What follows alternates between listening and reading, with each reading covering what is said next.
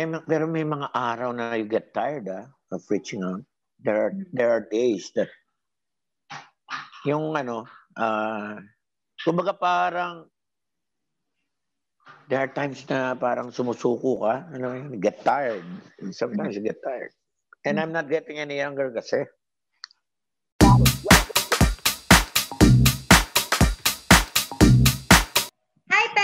Pepsters! Welcome to Pep Exclusives! Makakasama natin ngayon ang isa sa mga pinakamagagaling nating comedian sa bansa. Walang iba kundi si Dennis Padilla, ang bida ng Pac Boys Takusa!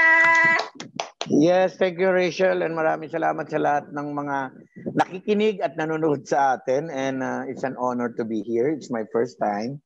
Yes, um, thank you so much po for giving us your time um, today na makausap kayo tungkol sa inyong MMFF entry. First time yes. niyo po bang mag-join sa MMFF or hindi naman po? Actually, I had my experience na magkaroon ng entry pero matagal na. That was, yung una ko was, uh, I was a supporting actor sa Darna with Nanette Medved. And then, uh, we did a movie na kami ni Jano yung bida, yung Pusoy Dos. It was also an entry ng Metro Manila Film Festival. And then ngayon lang ulit. So ang tagal na. Tagal na. About kasi, 20 years. Ang galing ko kasi, di ba, nung February, naalala ko, nag-press con pa po tayo dito sa Pacboys yeah. Takusa sa Viva office. And Correct. Hindi natin, walang idea tayo nun na MMFF entry na siya. Um, ano yung pakiramdam nyo nung nalaman nyo na kasama pala siya? Meron palang plan na ipasa siya sa MF, MMFF entry? Yes. Uh, nung magpandemya kasi, siyempre nagbago ang course ng lahat ng kung ano man ang mga pinaplano mo sa buhay, nagbago lahat eh, di ba? So, dapat yata may iba pang entry na isasubmit ng Viva, which uh, unfortunately hindi yata natapos on time. So, sabi ni Boss Vic, total yung Boys eh parang 4 days na lang ang kulang o 4 to 5 days to finish the film, baka ito na lang ang maihabol. So nagkataon natapos namin to tapos nagawa uh, na i-submit on time and luckily we were chosen. Siguro siguro iniisip na rin ng mga committee ng MMFFF na maglagay na lang tayo ng maglagay din tayo ng dagdag na comedy kasi galing ng pandemya ang mga tao. And ayun, natuwa kami dahil nga nakasama kami sa Metro Manila Film Fest on a new normal. Correct. At reunion nyo ito nila Andrew E. and ni um, Jano. Jano after sang Sanggano Sanggago. Yes. And sinama niya rin sa amin bago ay si Gerard Napoles kasi Gerard now is under Viva Film. So we have a new uh, younger comedian with us na magaling. Magaling. Mm-hmm. Galing din yung Gerard eh. Natural actor din. Natural comedian din. Correct. Maganda maganda nga yung combination. Tapos sa yeah. trailer pa lang nakita natin na talagang mga parang takusa. Yes. Ano po ba siguro magandang sa inyo mga galingan dahil yung mga ganun term eh. Anong ibig ba sabihin ng takusa and takot sa asawa. Takot sa asawa. Sabi nga nila, di ba? Kung sa Japan may yakuza, sa Pilipinas may takusa. Ang galing. Tapos, ano, partner nyo dito si Maui Taylor. Yes, Maui Taylor. Kumusta Tapos, ang working relationship ninyo? Well, okay kami ni Maui kasi for the longest time, marami kaming mga provincial shows. Co-host ko siya. Nakagawa na rin kami ng mga uh, mga guesting sa TV na magkasama kami. Kaya sanay na, kilala ko na rin si Maui. So at home yung paggawa namin ng pelikula. Para lang nga kami nagkwekwentuhan sa set eh. Mm-hmm. And uh, actually yung meaning ng takusa, yung ta- takot sa asawa, parang ano lang yun eh, uh, parang joke lang siya. Eh. Mm-hmm. Ang actual meaning ng takot sa asawa is respeto sa asawa. Mm-hmm. Kasi ayaw mo siyang masaktan. Parang ganun yun. So, yun. Dito naman, talagang tatawa ka sa movie namin kasi nga marami kaming mga may nagkaroon kami ng affair sa ibang babae, although may asawa kami. Pero at the end of the movie, yung uh, ano niya, yung redeeming value is we were sorry for what we did and we promise our wives na hindi na mauulit yung mga nangyari dahil sila talaga yung may-ari na ng puso namin and we should be good boys na dahil natagpuan na namin yung mga asawa namin. Yun yung redeeming value ng pelikula sa dulo. In fairness naman. At saka, yan nga, papasok dito yung nabanggit nga po natin na um, merong kayong parang affair dun sa um, isang trans woman dito sa yes, yes. ng ganon, hindi po kay ba? Francine. Yeah, kay Francine. Kumbaga parang, ayan, uh, pinakita doon na nagkaroon ako ng affair sa isang napakaganda, sexy, and then just to find out the next morning na guy din pala siya. Mm-mm. Kumusta naman po si Francine Garcia? Na sexy talaga. sexy, sexy talaga. Tsaka yung skin niya, talagang grabe, talo babae. Yung Super skin, si Reyna winner natin yan eh.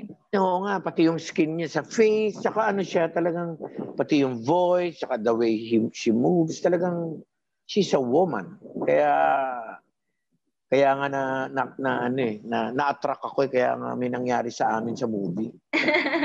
And I'm happy also na balik na uli kami sa pagtatrabaho dahil siyempre ang tagal mong walang income, di ba? Halos 5, 6 months. So, ngayon balik na uli sa work. So, yun, excited na ulit ako. And parang Rachel, ang feeling ko nga parang nag-second wind yung career namin since last year. Oo nga Kasi, po, magkasunod. Na... Magkasunod eh. Kasi actually, alam mo, the truth is, last year, nung inoffer ni Boss Vic na magbida kami uli ni Jano and Andrew, parang si Andrew lang ang parang confident na magbida pa ulit. Eh. I was not that confident and the same with Jano, I was calling Jano. Sabi ko, pare, magbibida pa ba tayo? Eh, happy na tayo sa pagiging support ng mga bida or tatay ng bida, uncle ng bida, kuya ng bida sabi ko, okay na ako doon kasi yung time na mga bida pa tayo sa pelikula, kumbaga parang sabi ko, lumipas na yun. Sabi ko, baka hindi, baka ma-flop pa yung pelikula, ganyan. So we had the meeting with Boss Vic and the same thing din ang sinabi namin, Boss Vic, sure, sure ka ba? Sabi namin, magano na lang kami, support-support na lang kami rin sa mga pelikula mo, sabi namin. Sabi ni Boss Vic, hindi, hindi You can do it, the three of you. Marami pa ka, marami pa rin kayong followers. Ang problema lang wala silang channel or wala silang medium para makita kayong mag-perform ulit at pasayahin sila. Wala eh. Walang vehicle. So I'm giving you this vehicle and I trust in this vehicle. Kasi daw, pa nagpapalabas daw sila sa PBO at saka sa sa iFlix ng mga old movies namin, lumalabas doon na yun yung pinaka matataas ang viewers. So sabi ni Boss Vic, may ano pa to? May followers pa to mga to, wala lang vehicle. So he decided to produce yung ano, 'di ba? Sanggano, sanggagot, sanggwapo. It made money. Nagulat din kami sa kinita and sabi namin ni John, sabi niya pare, may humahanga pa pala sa atin, pwede pa rin pala pa tayo magpatawa. So they decided to make a part 2. Sinute namin to last September pa. Kaya lang nahinto kami ng February. Kasi nga nagkasakit si Andrew. Nung makarecover naman si Andrew para mag-shoot kami, biglang ni-lockdown ng March 15 ang dahil sa COVID. Mm-hmm. So na-delay kami. So nag-shoot lang kami ulit October, first week of October. So yung finale, sinute namin ng October 2 hanggang October 8. Pero yung 80% nung film, tapos na last February pa, before the pandemic. Pero tama kayo, sir, no? Kasi talagang classic kasi yung mga pelikula, lalo na yung mga comedy films before, yeah. di ba? And yung mga action comedy na halo na mga ginawa po ninyo. Yes. Ano eh, iba, iba rin naman talaga. Tsaka lalo ngayon po, um, uso din kasi yung may mga nostalgic feels. So yung yes. mga artista dati na mga napapanood nila, gusto ulit din nila makita may market sa ganun eh. Yung parang lalo yung mga 90s kids or 80s kids, kids. na mga ganyan po. Yun po yung... Tsaka yung majority ng crowd namin nila Jan at saka nila Andrew, ito na yung may sarili ng pera. Mga OFW na kumikita on their own, mga head of the families. Mm-hmm. 'Di ba? Yun, yun, yun, yun na yun eh. Kaya lang, siyempre, sa tulong din ng mga bago nating platforms, yung karir namin, uh, umuusbong ulit. Kaya nga nagulat ako dahil Siyempre, kung wala namang uh, social network, wala makikita mo ba 'yon 23 million views sa teaser. Mm. Correct. Sa, 'di ba? So sabi ko, malaking tulong din talaga yung modern technology para i-spread the news. Um, paano po ba kayo ulit ano, pumasok na maging artista? Well, I started talaga as a child actor during the time of my dad kasi I was the godson of Fernando Po Jr. So when I was young, mga 8 or 9 years old, I would be the young FPJ. I will be the son of FPJ. I did Totoy Bato. I was Totoy Bato. Remember the classic film of uh, Fernando Po Jr., Totoy Bato? Mm-hmm. The start of that movie is me. A, a boy running sa rice rice terraces, parang ganon, tumatakbo. And then the the history of Totoy Bato begins with my character. I am the young Totoy Bato. And then eventually became Fernando Po. Mm-hmm. And then I did about four or five movies as the young Fernando Po. I was also the son, uh, the move, the classic movie of Fernando Po Jr. entitled Acidilio, where he won the Best Actor Award. Mm-hmm. I was the son of Acidilio in that movie. And then marami pa akong ginawang mga movies as a child actor. And then I stopped kasi nag-aral, nag sabi ni tata, hindi, huwag ka na muna mag-artista, tapusin mo na muna yung, pag, yung high school mo. Pag-graduate mo ng high school, tsaka tayo mag-usap ulit. Pag-graduate ko ng high school, sabi ko kay tatay, sabi ko tayo, graduate na ako ng high school. Gusto ko talaga mag-artista. Hindi, hindi. I want you to be a lawyer. Yun ang dream niya kasi nung bata siya, to be a lawyer. So I took up AB Political Science nung college ako. So when I was in college, sabi ng tatay ko, na hindi ka pwedeng mag-artista. Kung gusto mo, may schedule, Sabado at Linggo, pwede payagan kita mag-artista. Pero you have to finish your college degree. So gusto niya, makatapos ako ng AB Political Science para eventually maglo-law proper ako as a preparation. And then, when I graduated AB Political Science sa UST, sabi ko, Tay, mag-graduate na ng AB Political Science, baka naman pwede mag-artista na muna ako bago ako mag-law proper. So pumayag ang tatay ko. So I, I, I went to one of his shooting. I was driving for him. He was doing No Retreat, No Surrender, si Commander. It's a movie with FPJ, Susan Roses, Cheryl Cruz, and the upcoming superstar Randy Santiago. The movie was directed by Pablo Santiago under FPJ Films. It's called No Surrender, No Surrender si Commander. No retreat, no surrender si Commander. So there was one scene there na may date si Cheryl and Randy Santiago. Tapos merong isang villain na parang babastusin sila habang nagla-lunch sila sa isang restaurant. Tapos ipagtatanggol ni Randy. Yung character na yon hindi dumating sa set. So that was um, 1985 or 86. Sabi ng sabi ni Pablo Santiago, Naku, hindi dumating. E paano yung eksena rito? Eh, kailangan mag, may marunong umarte, babastusin si Randy, tsaka si Sherry labang nagla-lunch, ganyan. Sabi niya ito, si Dennis na lang gamitin niyo, yung anak ni Densyo. Ako raw. Mm-mm. So, I did that part. And then, while we were shooting, sabi ni Randy, Oh, Dennis, okay ka pala, marunong ka pala. Sabi ko, oh, dati rin ako nag-artista nung bata ako. Kaya lang nahinto dahil nag-aaral ako. Tapos sabi ni Randy, mamaya samahan mo ako kasi lunch break naman. Malapit lang naman ang GMA 7. Kasi sabi ko, bakit? Meron akong noontime show, sabi ni Randy Santiago. Yung uh, lunch date. Sabi ko, talaga, meron ka pala. O sige, sumama ngayon ako sa kanya. Iniwanan ko muna si tatay sa set. Dahil malapit lang. Pumunta ko ng GMA doon, na-shock ang buhay ko. Dahil nung pagpasok ng kotse ni Randy doon sa may gate ng GMA, oh my God, daan-daang fans yung kumakalog ng kotse namin. Wala akong idea, superstar pala yung kasama ko. Si Randy mm-hmm. Santiago, superstar pala, grabe. So ginaganon yung kotse, na, Napilitan ng gwardyang ipapasok yung car kasi bawal ipasok sa loob. Eh. Napilitan yung gwardyang papasokin yung kotse ni Randy dahil nagkakagulo yung mga pan sa labas. Tsaka wild. Wild sila. Talagang kinakalog yung otong ganun. So pagbaba ko ng auto, sabi ko, Randy, grabe ka, superstar ka pala. Ganyan-ganyan. Sabi niya, hindi naman, mayroon tayong may mga fans lang, ganyan-ganyan. Oh, anyway, when we went the show proper ng lunch date, doon ko nakita. Sabi ko, grabe, sikat na sikat pala to. Kinausap ko siya. Sabi ko, Rans, bigyan mo naman ako ng part dito sa show para makabalik ako. So binigyan niya ako ng part. Meron kasi skit portion ng lunch date. From that day one, na start ako doon, tuloy-tuloy na yung career ko ron. Naging regular part na ako ng lunch date.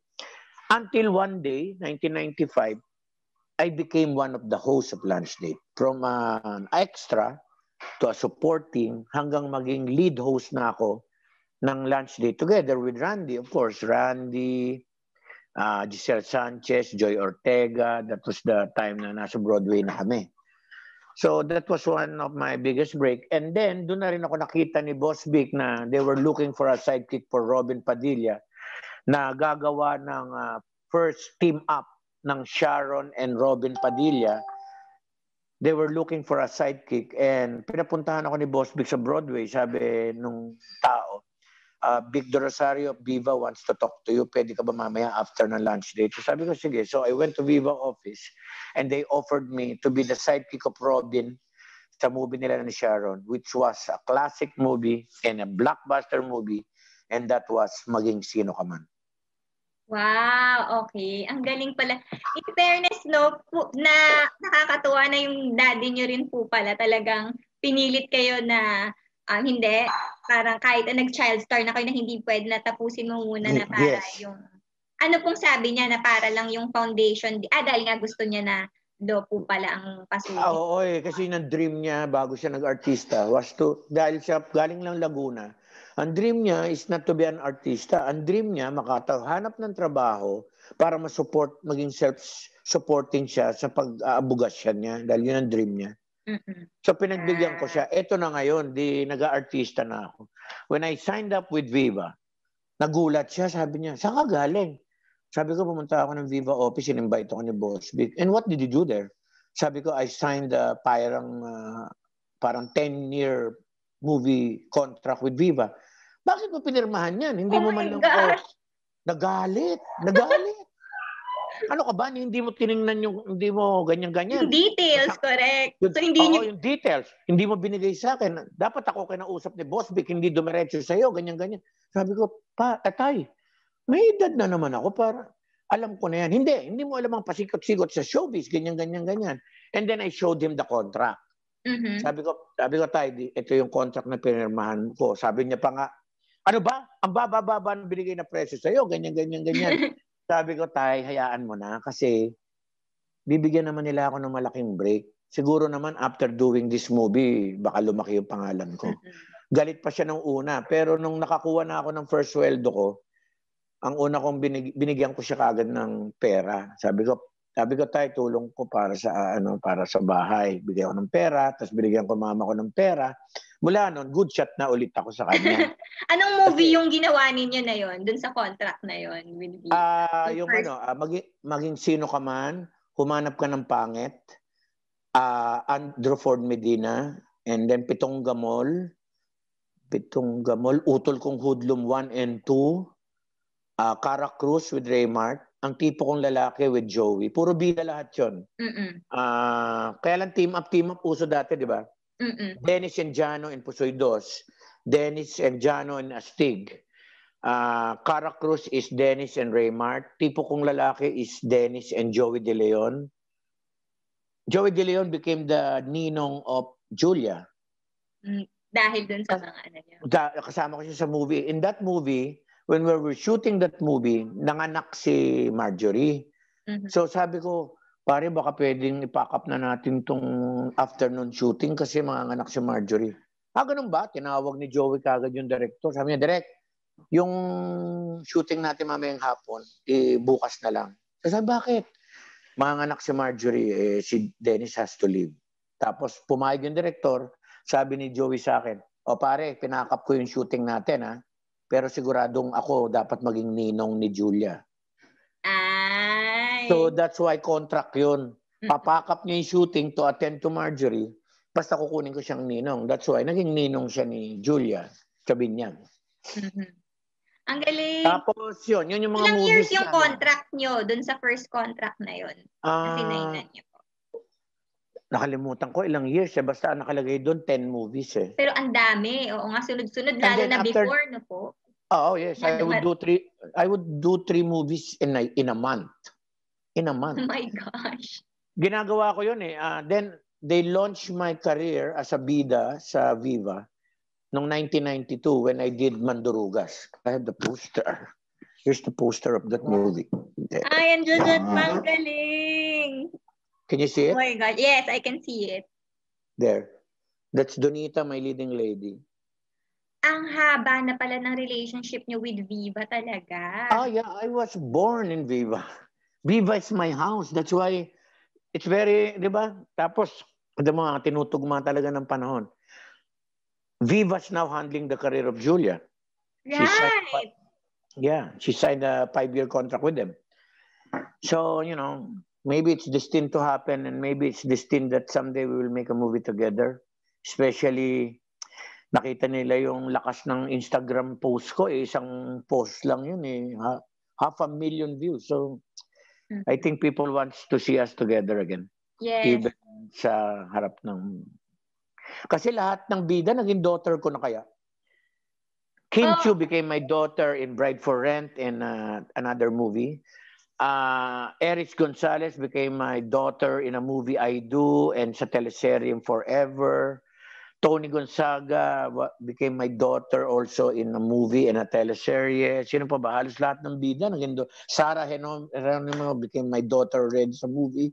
Break Up Please. So, si Julia lang na lang ang superstar na hindi ko na nagiging anak sa pelikula. Yung tunay kong anak. Mas may chance nga siguro ngayon dahil pareho kayong Viva. Viva, yes. Ako. Nako. Oo, baka. mm, Baka mm. ibigay ni Boss Vic ang Correct. chance. Kaila, oo, kailangan lang kausapin ni Boss Vic si Marjorie para pumayag din. Yes. Ayun, Because I got I got the shock of my life when I saw the views ng Instagram namin ni Julia. It's almost half a million. oh, oh my gosh. Ito po yung ano, no? Tungkol dun sa pagkikita ninyo. Yeah, nung uh, I think uh, uh, three, four days ago. By accident lang kasi yung pagkita namin. Pwede niyo pong ikwento ul- Yeah. ul- ul- ulit kung paano po kayo nagkita. Uh, we were doing a VTR for the promo of Pacboy sa Viva Office Madrid yan. Dito sa Scout Madrid yan, sa QC. And then uh, we were dressing up. Nasa third floor kami. Sabi ni Jano sa akin, pare, ka, labas ka. May surprise ako sa'yo. Tapos sabi ko, bakit? Basta lumabas ka, halika, may surprise ako sa'yo. Tapos pag dungaw kong gano'n sa bintana, sabi niya, look down. Pagtingin ko, nando si Julia. So nakita ko ni Julia, nasa ground floor siya ng bahay. Tapos ako nasa third floor ng building.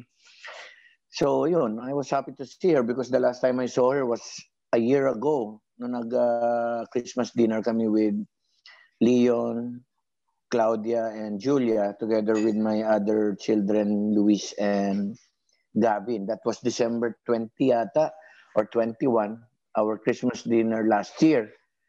Eh, nagkita kami ulit, December na ulit. So, less than 10 days lang, less than 15 days. Isang taong ko siyang hindi nakita.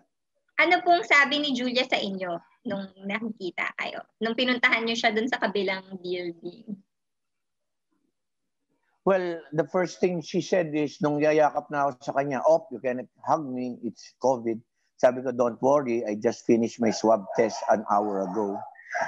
So, yun. Siya nga tinanong ko, bakit ikaw ba nakapag-swab test ka na? Sabi niya, oo, nag-swab test rin siya. So, siyempre, yung health protocol namin, kahit sa pictorial, kahit sa VTR, basta marami kayong magkakasama in one room. Everybody has to take the the antigen swab test. So, ganun din sa taping and shooting, di ba? Mm-mm. Swab test in and swab test going out. So, siyempre, excited ako na makita si Julia together with Marco Gumabaw because they're preparing for a new movie. So, sabi ko, Julia, la, picture naman tayo. So, nag-picture kami. Eh, tamang-tama, it's my, may bago akong smartphone kasi I've been using the old Nokia phone that I had for one century already.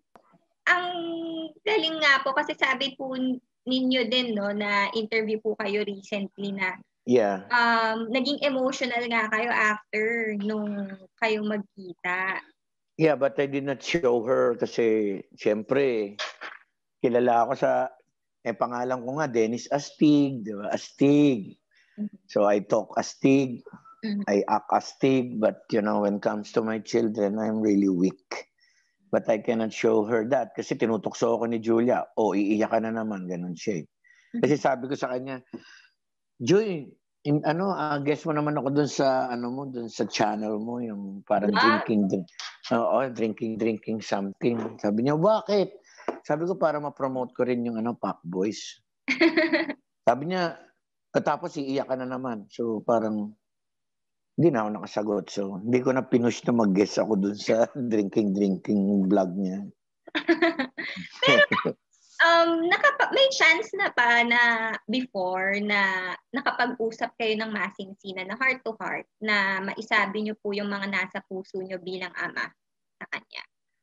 Um, I was given a little chance before her debut. Remember, di ba, she had her debut.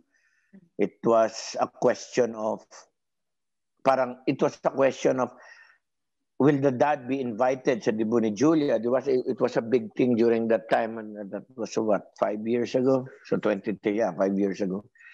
So ako naman, sabi ko na, pag nadyadyaryo siya na, I hope I will be invited, pero kung hindi naman ako invited because of the issues dahil during those time, that was the time I was fighting for my family name. Kasi, di ba, they were trying to take out my family name and during the time that that filed the uh, pagtanggal ng Valdivia family name sa mga official documents ng mga bata, they were all underage. So, may karapatan pa ako na ipaglaban na apelido ko gamitin because hindi ko naman sila dininay nung pinanganak sila na anak ko sila. And nung time na yon eh, we are in good terms ko naman with Marjorie so I was fighting for it. And I felt na it was my right to to prevent them from taking out my family name. So that was uh, the issue then uh, o during the debut, paano yan? I-invite ba si Dennis or no? Ganun. Parang ganun yung talk. So, finally, when I was taping for ABS, uh, ano ba itong, yung, ano, yung uh, Deal or No Deal. I was uh, I was a regular for Deal or No Deal with uh, Luis Manzano. I was one of the ano dun, eh, uh, celebrity na naghahawak ng attache case, remember? Mm-hmm. Di ba celebrity siya? Kasi for one year yun eh. One year kami na sa attache case. And then, uh, yung taga-office nila, uh, sila Mariol, uh, asked me if I can I can talk to her. So, doon sa isang dressing room, uh, tinawag ako ng assistant nila, Mr. M. Sabi, Dennis, si uh, Tita Mariol is there. She wants to talk to you. So, I went to Mariol sa dressing room. Uh, five, eh, five years ago na yun. Eh. So, punta ako doon. Pagpasok ko, Mariol was with Julia mm. in the dressing room. So, hi Julia, sabi ko, congratulations, you'll be having your debut, blah, blah, blah, blah. And then she was holding an invitation card for me, for Linda, my partner, and for my mom. At parang ang tatlong invitation. Sabi niya, pa, I hope you can come to my debut. So, I was formally invited. And Mariol was there. So, the, one of the questions that uh, uh, Julia asked is, uh, what happened to you ba and mom? Ba, pa, bakit kayo nagkahiwalay? So, for now, for with you, I will just say one reason because the other reasons is quite private and delicate. So one of the reasons is I was not uh, yeah, I was not providing that well during that time because uh,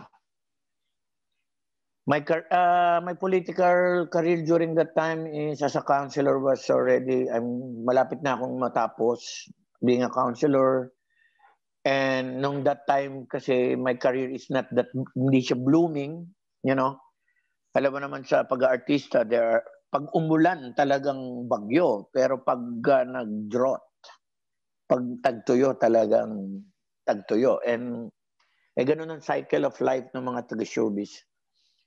So, that time, talaga namang aminado I was not able to provide them with the needs that they need.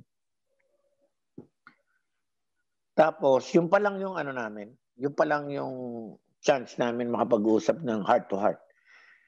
And that was five years ago and hindi pa naulit.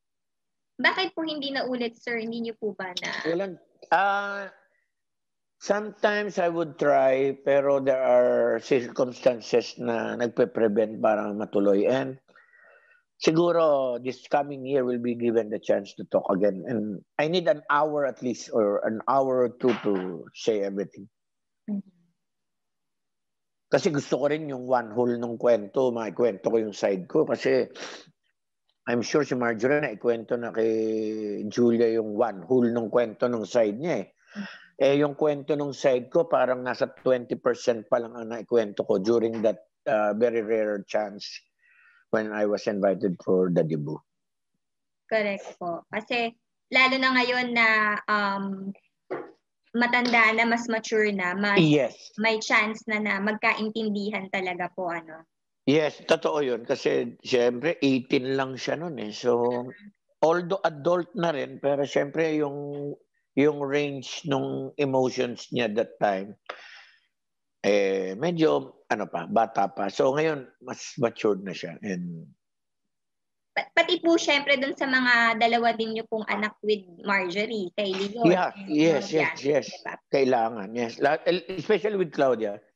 Because uh, I, I sometimes uh, I won't speak to her for a year. For a year. Uh, last, this year, uh, the whole year, I haven't talked to Claudia. And uh, every time that I have messages for Claudia, I will just pass it on to Julia so that Julia will relay it to Claudia. I hope I could have a chance also to talk to Claudia ng buo, yung walang edit. Correct. So parang yung last year po ninyo, yung mga ganun na pagkikita, yung Christmas, um... Uh, it's a once a year thing, sometimes twice a year. Yun yung sometimes birthday ni Leo ng April or birthday ni Julia ng March. Uh, actually, for the past how many years, uh, I would see them what uh, once or twice a year. Mm-hmm. Madalang. Tapos, bitin. Ang galing, ang galing po, oo nga po, bit, bitin nga po yun. No? Pero at least, um, nakikita nga po sa inyo talaga yung puso ng isang ama na talagang, alam niyo yun, na um, very honest naman kayo dun sa feelings din ninyo and na dun sa kagustuhan na mag-reach out sa mga Yes. Ganun. Pero pero may, may, may pero may mga araw na you get tired ah, of reaching out. There are mm-hmm. there are days that yung ano uh, kumbaga parang there are times na parang sumusuko ka, ano, you get tired. And sometimes you get tired. And I'm not getting any younger kasi. Opo. Eh, so, two years from now, uh, two years from now, dual citizen na ako. Filipino citizen and senior citizen. so, hindi na, mabilis na yon eh. Mm-mm. Correct po. I'm sure, um, lalo na si Julia sabi nga Kasi, niya, I will say, why ano did you have the chance to talk to her? I, I, hindi po. I mean, um, may mga, minsan sa mga vlogs po niya nababanggit niya about na one day pagka ikakasal na siya, syempre kapag ka if um, na, na mga parang yung mga nai-imagine niya kung ano yung, kung paano yung family life or parang syempre kapag ganun na yung um, thinking ng isang tao, mas gugustuhin niya na yung siya din, yung siya as yung pamilya niya before, kayo po, na mas may gugustuhin niya na maayos yon bago ka pumasok sa isang relasyon po, di ba, na talagang yes. na maayos. buo yung Sometimes- pagkatao, kumbaga. Uh, yeah, uh, sometimes I wonder nga what's preventing. Sometimes I would, you know, I wonder why would why would Julia be parang kasi every time na nag-uusap kami, sometimes I can feel a wall. So parang to do I have to break that wall before I can uh yung para maibuhos ko or meron kasi minsan na ganun eh. Ah, Mm-mm. like yung, kita mo ah, doon lang sa question na, oh, baka umiyak ka na naman. Rather than, no, pa, I know how you feel. Dapat yun ang tanong eh, di ba? Mhm, mhm. Hindi yung, oh, baka umiyak ka na naman. Bakit? Hindi ba valid itong pag-iyak ko? Mhm. Di ba mas maganda itanong mo, bakit ka umiiyak? Rather, kaysa sabihin mo na, oh, iiyak ka na naman. Oh, Mm-mm. di ba? Ah, so parang yun yung wall na ibig niyo po Yeah, sabihin. parang, yeah. Hindi Parang na- ayaw niya ng ungkatin or pag-usapan ng masinsin. Yes, yes, yes, yes. Eh gusto ko mag-pour out eh. Mm. Kasi pag ano, yung hindi mo ko pinigil, yung ma-pour out ko everything in 20 minutes. Mm-mm. Correct Yes. po. So communication talaga ang kulang. Ano po, parang ganun yung Yes, yes, yes, yes. Kasi wala naman hindi naaayos sa masinsinang pag-uusap. Ano po. Yeah, somebody has to tell her that. Mm. Yung mismong phrase na binitawan mo. Nako, I think uh, the maturity that she got is not that whole. Hindi siya ganun ka buo. Hindi ganun kabuo. sa ngayon. Oo. Pero pag ako nakausap niya ng masinsinan, doon niya lang makukuha yun eh. Kasi hindi ko mabi... Di ba? Hindi siya... Hindi ko siya maisasali ng ganun kadali eh.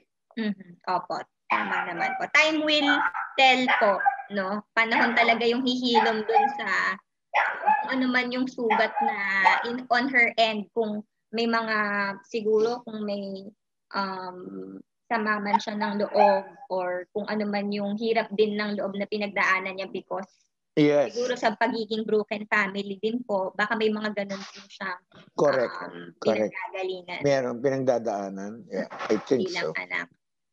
So yun po.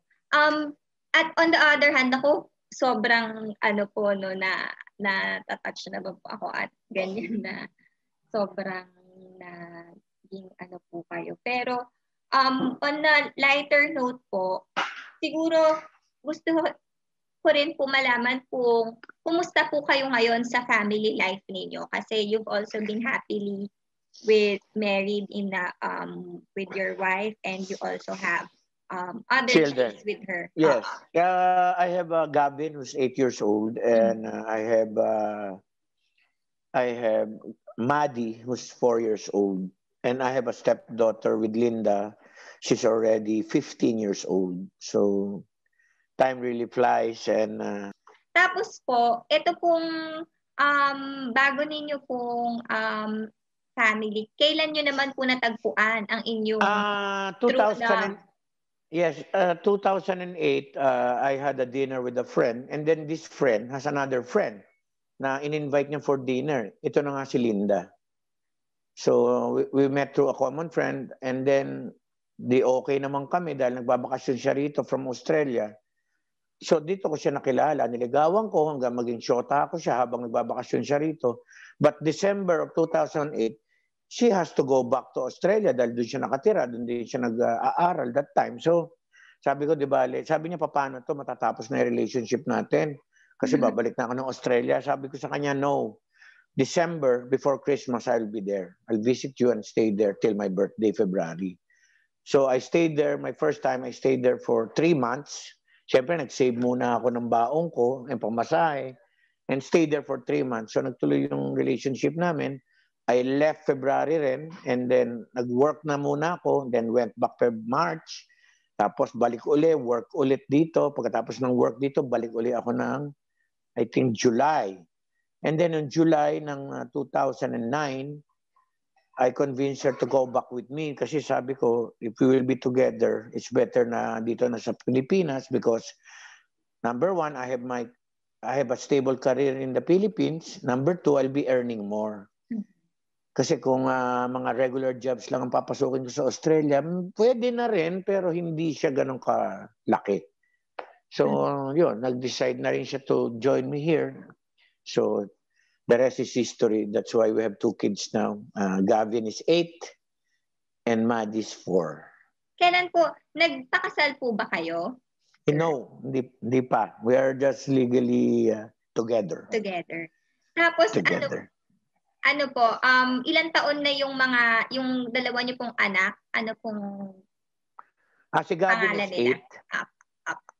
Gavin then, is eight. Maddie is four. Okay. Tapos 15 po yung si... Yung stepdaughter ko, okay. si Risi, is 15. Okay. Yung isa po ninyong anak na nasa US, ilang taon na po siya? 30. Si Dayan. 30. Grabe. Ano, time flies nga po. Ano, ang galing. At uh, doon sa first kong chapter ng buhay ko, buhay niyo po, opo. I have two children with Monina Gatus. Mm-hmm. Monina Gatus is the daughter of Boy Gatus, the producer of Iskul Bukol, and Todas. That's Monina Gatos. That's the mother of Diane, my daughter, who's 30, and the mother of Luis Emmanuel, who's 29. Mm-hmm. Uh, yung hey. anak ko na yun dito sa Pilipinas, nagtatrabaho sa Development Academy of the Philippines for the past three years. Ooh, ang galing. Talagang mga professional na din. Mga yes, talagang yes. graduate na din sila. So, yun ang mga anak ko. Ang mga anak ko is Diane, who's 30, Mm-hmm. Luis, who's 29, Julia's 23, Claudia's 21, and then Leon is 17. And then I have Gavin, who's 8, and Maddie, who's 4. So I have seven children oh, with, with three, three, three mothers. Three mothers. Uh, pero dun sa ano po ninyo, current po, ano po ninyo, no, na partner nyo. Partner. Ang galing, ilang taon yung agwat ninyo eh? 20 23. plus years, di ba? 23. Tapos, ano, pa, ang galing na paano yung, anong sikreto na kahit na ma, yung may age gap na 23 years, parang talagang going strong kayo since 2008? Uh, on her part, it would be a lot of patience. Kasi alam mo naman ng buhay ng artista, up and down, up and down, tapos financially ah, and career-wise. Number two, up and down and up and down din ang ano ko, ang temper. Kasi pag pagod, syempre, iba yung pressure eh. Kasi, di ba, uh, yun sa trabaho ko. So, minsan, di ba, mainit ang ulo mo, ganun talagang mahabang patience. And on my part, kailangan ko lang talagang maging mahaba rin ng aking ano. Uh, I have to control my ano emotions a lot of times. Kasi I'm getting older na rin. Ilan taon na siya ngayon? 35. 35. Ang galing. She was 23 when we were starting. So, iba rin naman po talaga. Ang boy, ang dami niyo mong pinagdaanan, um, Sir Dennis. Pero, in the end, nakahanap din kayo din naman ng talagang um, inyong lasting love. Kumbaga. Yes. And I hope ito na nga yun. Kasi 58 na ako. Parang nasa last card na ako ng buhay ko. ang galing. Oo nga po. Tas, pero alam niyo po sana ka magtuloy-tuloy ano at ang galing ni Boss Vic na talagang nagbibigay ng chance din na yeah. um um, umano yung career mag-bloom na hindi lang yung panay bago kasi usually isipin mo na lagi ngayon mga reality shows bago bago artista mga ba- bata pero Correct. hindi ang diva sumusugal talaga yes And uh, maganda rito sa nangyaring pandemya, nagkaroon tayo ng new normal pati sa paggawa ng pelikula. And parang nagustuhan din ng producer na ang mga artista naka-lock in. Kasi yung mga artista cannot make lagari. They cannot leave the set. Unlike before, talaga nade-delay ang pagtapos ng movie dahil yung bida has to go here, may out-of-town show na nakomit na. Ngayon, hindi. You have to sign a contract that you will do the health protocols, stay for 20 days, lock in, na hindi ka pwedeng umalis, hindi ka pwedeng lumabas, hindi ka pwedeng mag-ATM, hindi ka pwedeng pumunta ng 7-Eleven, talagang nasa loob ka lang ng isang bubble. Correct. Kasi kailangan safe na safe eh. Yes, para kampante kayo na lahat kayo negative doon sa set. Plus, ano pa ba? Ang napa, yung although syempre hinahanap mo yung sinihan dahil magkakasama kayong tumatawa ng mga tao, ngayon lang, ang mangyayari, kahit na nasa ibang bansa ka o FW ka, all you have to do is register sa upstream.ph around the world, kahit saan ka nandun, you can watch the movies. Mm-hmm. Our movies, I mean, you know, especially Pac Boys. Ngayon lang to, eh. first time magmakaroon ng Metro Manila Film Fest na mapapanood mo sa sarili mong gadget. So, um, meron kami dito sa PEP na tinatawag na Only in PEP.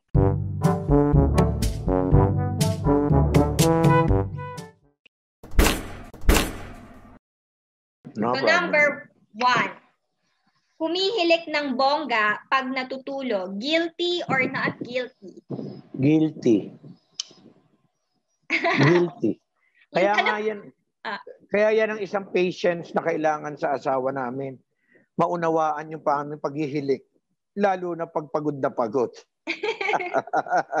Pero, buti na lang meron na ngayon nabibiling mga ano, di ba? Mga snore stopper ba? Mhm. Hindi naman po nagre-reklamo na ay masyadong malakas ang inyong partner pagka malakas Ah, hindi. May mga araw na nagre-reklamo. May mga araw na nagre-reklamo. Tsaka sasabihin niya, okay lang ba mauna ako matulog para pa naghilig ka, tulog na ako? Ayan, Pepsters.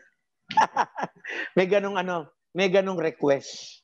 Correct. So, pero gumagamit na kayo nung ano, parang stopper ng paghilig. Hindi naman. Hindi pa eh. Hindi pa ako nakakabili pero nakita ko na sa parang sa shop, online shopping meron eh. Gusto ko i-try. Gusto ko i-try talaga. Hindi totoo. Sige po, sabihan po ninyo yan kung effective nga ba talaga or hindi. Oo. Parang Para yung mga ako iba rin eh, ma-influence kung gumamit. Tama, i-post niya sa IG yan, um, Sir Dave. Okay. Sige, sige. Number number two, nakakita ng multo. Guilty or not guilty? Guilty. Talaga po? Paano multo? Yeah.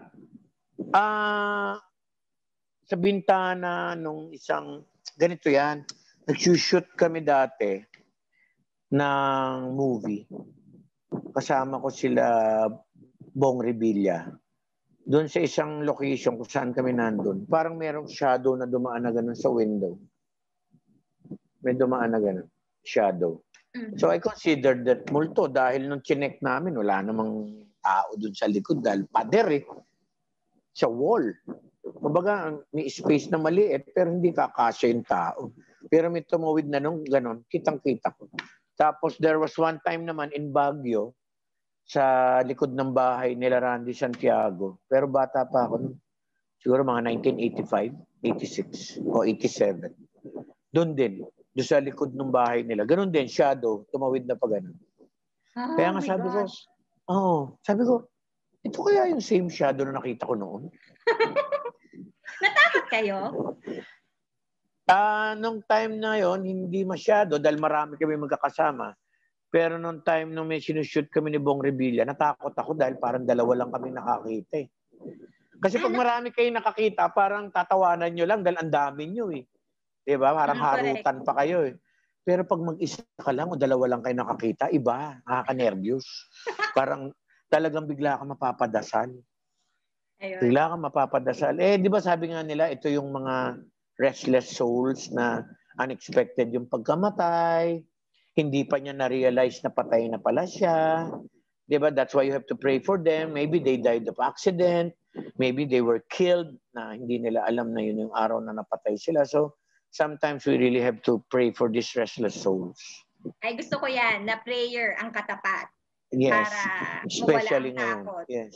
Or, Well, you know, alam mo, I found that very effective. Every time that you have a bad dream or you see this kind of shadows or parang ghosts, once you pray the Our Father, it automatically disappears. Even in your bad dreams, hindi mo pa natatapos yung pagdarasal, nasa kalahati ka pa lang, nawawala. 'Di ba? Nawawala. 'Di ba yung bigla ka na alimpungatan ng sama ng dream mo, all you have to do is speak, close your eyes again and talk straight to Him and pray. Hindi mo pa natatapos yung prayer mo, nabubura na yung mga bad thoughts agad. Even if you're feeling weak, you haven't finished the whole prayer and the, you, you regain strength. Your soul. Sabi ko nga noong araw pag nasasaktan ako, ang lagi kong word na ginagamit, I have a wounded soul. And prayer is the only cure for those kinds of wounds. Yung mga spiritual or emotional po, no? Na yes, yes, yes. Effective weapon talaga ang prayer. In fairness. Agree In tayo fairness. dyan. Yes. Minsan nga kahit na yung, di ba may mga araw na nababasag yung faith mo. Yung, kasi ano yun eh, uh, you have to work for it eh. Hindi siya yung, hindi, faithful ako araw-araw. Hindi, may faith ako everyday. No, you have to work for it. You have to, may effort talaga to keep it. In keeping with the faith, there's an effort. Hindi siya, hindi mo siya automatic magigain. May effort talaga. You really have to pray. Ay, kailangan natin yan, lalo na ngayong pandemya. Ano po? So, sobra. Ayan. Number three, guilty or not guilty, napagalitan ng director. Yes. Guilty. guilty. There was one time I was late in my launching movie, Mandurugas, our second day at uh, Eddie Rodriguez is my director. Eddie Rodriguez is one of our greatest dramatic actor and director. Eddie Rodriguez. And inabot mo ba siya? Hindi na po. Hindi Parang hindi na. You have to Google him. You have to Google him. Anyway, ang sabi niya sa akin pagdating ko sa set, Dennis, ikaw ang bida ng pelikula na to, pero wala kang karapatang maging late. Sabi sa akin ni Ed, Tito Eddie.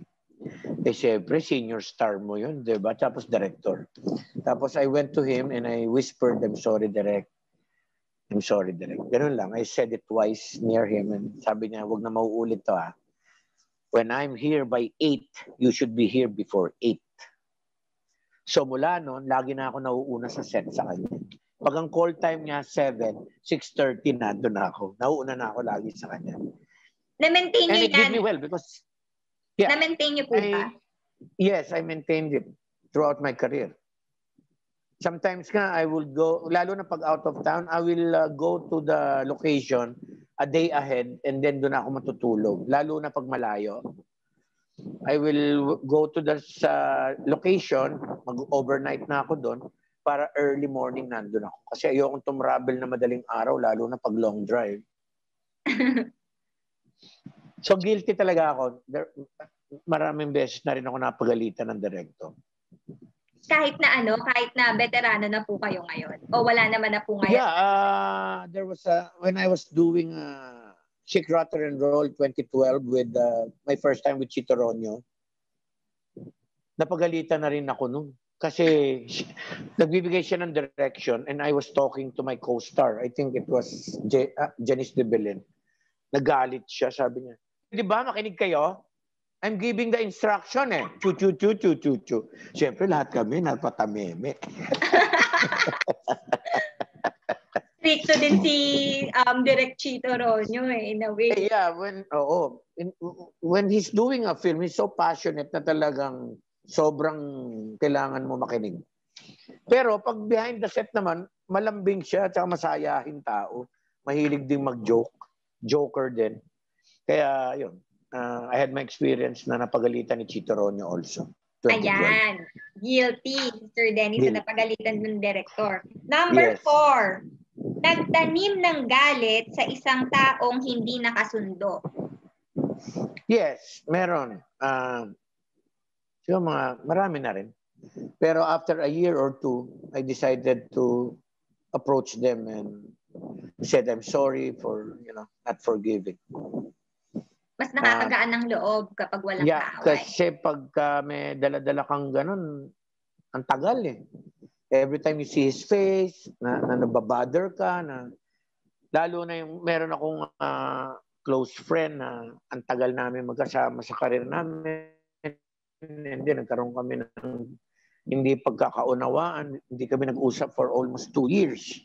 And then we were given a chance to be together again dahil meron kaming common friend na namatay yung anak. So, mm-hmm. nagkita kami sa Lamay and I was the one who approached him and I said, I'm sorry pare. Ah, uh, ganun ganun. Uh, sinabi ko na mali ako doon na hindi kita binigyan ng chance makapag makap, na hindi kita binigyan ng chance magkakapag-usap tayo. That's why That's why ayoko nang maging ganun. Uh, pagka meron tampuhan o merong hindi pagkakaunawaan, uh, upuan na natin today, not tomorrow, today. Let's sit down and talk today. That's why uh, gusto ko na rin ano, gusto ko nang mabago 'yon yung ganung ugali ko noon na nagtatanim ng galit. Ayoko na no. I'm getting older and kailangan talaga forgive and forget. Agad. Ayan. In fairness naman. Number five, guilty or not guilty ng two times sa isang karelasyon. Ayan, very boys takusa to. Guilty I had my experience ng being unfaithful during my, syempre during my younger years. Eh, ganun talaga. Eh. Minsan dumadaan sa ganun. Hindi ko naman ini-encourage na maging ganun kayo, pero I, it happened to me. Tapos, uh, I had a girlfriend na taga Holy Spirit. Are you familiar with College yes. of Holy Spirits yes. in Mendiola? And then, I had another girlfriend in UST where was where I was studying. studying we were in the car dun sa girlfriend ko taga UST. Biglang dumating yung girlfriend ko na galing Holy Spirit. My God! Eh, nasa kotse kami, nagkikwentuhan kami, nakapark kami doon, malapit sa AB building na UST. Tumap oh my God, tumapat sa pinto ko, si girlfriend one, at ang sabi niya, sino yan? So yung girlfriend ko taga UST lumabas, ikaw, sino ka? So gumit na ako, sinampal ako ng taga Holy Spirit. I tried to explain pero nag-walk out. So I tried to explain to sa to UST. I did not have the chance to explain dahil sinampal din niya ako. So dalawang beses ako nasampal sa loob ng 4 seconds. Ganon. Naku, imagine niyo po yan, Sir Dennis, kung ngayon yan nangyari, na social media yung... Oh my God siguro naka 2 million views na ako sa Instagram. At 5 million views na ako sa ano, sa Facebook. May pag So, ang pero hindi naman na naulit ito. Dahil nga... Yeah, I've learned my lessons na, you know, so, hindi na siya... Uh, naulit din pero hindi pwede ikwento dito. Ah, sige, wag na, wag na po. Wag na. kasi mga kasi mga kilala mga kilala tao yung involved. Oh my gosh, baka mapahamak tayo. Pero baka, galing na kasi mga college. Baka, baka habuling ka eh, tawagan ka. mga Hello, college. bakit binanggit mo yung name ko dito, ha? At chuchuchu? Pero mga college, ano talaga, no, na mga uh, kulitan. Yeah. Eh, tsaka, siyempre, bata ako pa naman din nun. So, di ba? Tapos, that, during that time, comedian na rin ako. So, di ba? Maraming natutuwa sa'yo, yung mga girls, dahil pag may party, ikaw yung life of the party, ganyan. So, marami rin nagkakakrush sa'yo. Di ba? Naayos nyo naman. Kumbaga, nag- Wala, I lost both of them. I lost both of them. Nagkahiwalay kami. Nagkahiwalay kami. And then, after a year, yung girlfriend ko na taga UST, a year or two, nag-asawa na rin eh. Hindi pa kami tapos. Ah, college graduate na pala kami. Tapos nabalitaan ko na na nag-asawa na. Tapos yung, unfortunately, yung girlfriend ko na sinasabi ko siya na taga Holy Spirit, uh, she died, uh, I think she died mga five years ago. She got sick. Pero nag-asawa tayo, nagkaanak na rin. Mm-hmm. So, yun ang lesson. Dahil nag-two, dahil nag two-time ako, pareho ko silang nawala. Pareho silang nawala. Nawala sa'yo. So, yun Matagal yung ba yun? yung two, yung girlfriends taga-taga Holy Spirit, ilang gaano kayo katagal nun? Yes, she was one of my longest na karelasyon, karelasyon ko nung college ako. Siguro mga, more or less mga two years. Two years. Tapos yung Eh, isa, college ka, taga-uste. mahaba yun. Oo, mahaba yun. Yung taga-uste, mga six to seven months siguro. grabe, matagal-tagal din po. na hindi kayo nahuli. Nag-overlap. Nakakaloka. Ako, Pero in fairness to me, ha, parehong maganda yun. Pareho. They were both beautiful. Yeah. magaganda naman po ang mga naging partners nyo talaga. Nga. At kahit hanggang nga. yung present ninyo Yeah. na Yes. yung love of your life. Yes, maganda pa rin. Ayun. Um, nako, um, Sir Dennis, so thank you so much sa napakadaming sharing with us sa PEP. Yes. Uh, first time sa PEP exclusive namin po kayo nakasama. Yes. And it's an honor na maka makausap ka, Rachel. I I felt relaxed talking to you. And honestly, uh, I was able to pour out some of my feelings and sarap. This morning is a good morning for me because an, ano eh, ah, sarap. Sarap sa pakiramdam. Thank you And, so uh, much po. Na-appreciate ko po yung trust Yes. din ninyo, sir. sa Yes, uh, maraming salamat and I hope uh, matulungan nyo kami mga po promote in a new normal na sana panoorin po nila yung Pac Boys dahil siguradong one and a half hours kayong tatawa. Kalimutan, makakalimutan nyo muna tong pandemic na to. Makakalimutan nyo muna tong COVID-19 for one hour and a half. Ah, sa upstream.ph lang po, i-click nyo lang po yung Pac Boys sa halagang 250 pesos. That's what? Ah, roughly mga $5 lang kayang-kaya ng ating mga kababayang OFW. Especially the OFWs. ulitin po natin saan nila mapapanood ang MMFF na Pack Boys Tapusa. Upstream.ph. Ah, Upstream. upstream. U-P-S-T-R-E-A-M dot PH. Oh, okay. That's the, ano eh, that's the carrier of all the Metro Manila Film Festival entries. Okay. So invite po natin sir ang Pepsters na manood ng Yes. Pack Boys Takusa and kung ano pong iba ninyong gustong i-promote na mga aabangan sa inyo. Uh, sa lahat po ng Pepsters, uh, huwag kalimutan, Pac Boys, as early as now, you can reserve the tickets sa upstream.ph. Pero ang official showing po namin is December 25 on Christmas Day. And ano pa ba ipopromote ko? Ah, another one, uh, live streaming pa rin po ang A House Arrest of Us with Katniel, where I play the father of Daniel. Ito naman po ay mapapanood nyo sa ktx.ph or uh, TFC.